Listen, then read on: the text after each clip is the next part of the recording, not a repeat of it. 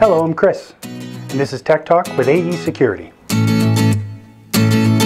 Today I'm just going to quickly show you an example of a scene that is run through Total Connect in your Smart Scene section.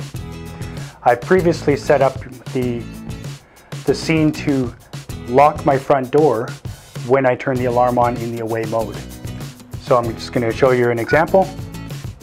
Arming away, followed by a four-digit code. So you'll hear the exit delay go.